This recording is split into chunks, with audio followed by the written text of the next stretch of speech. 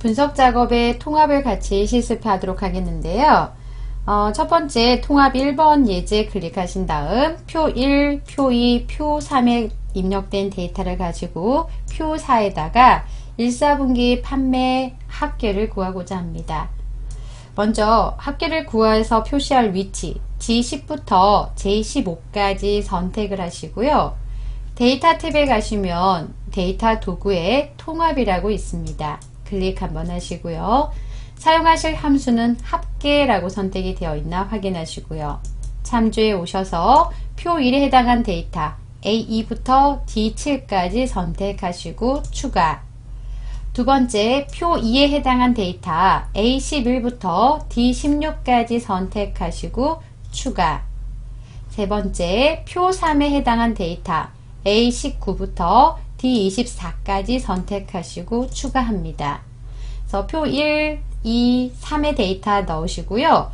중요하신 거는 사용할 레이블에 첫 행과 왼쪽 열에 체크가 되어 있나 확인하신 다음 확인 버튼 누르시면 어, 표 4에 1월부터 3월까지 마트명에 해당한 데이터의 합계를 구할 수가 있습니다.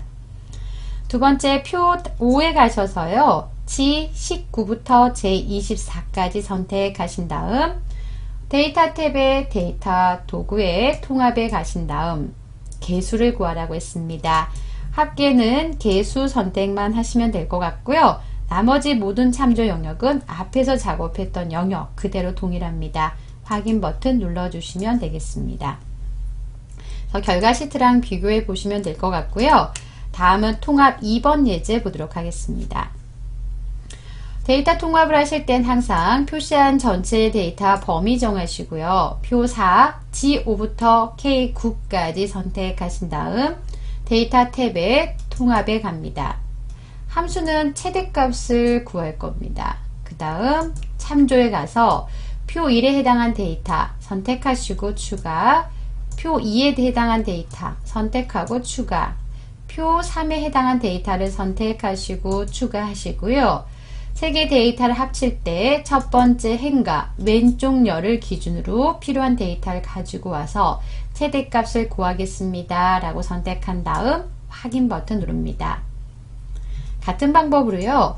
어, 표 5에 해당한 데이터 G12부터 K16까지 선택하시고요. 데이터 도구에 통합에 가셔서 최소값만 선택하시면 될 것 같습니다. 최소값 선택하시고 확인 버튼 누르시면 최소값 구해져 있고요. 결과 시트랑 비교해 보시면 되겠습니다.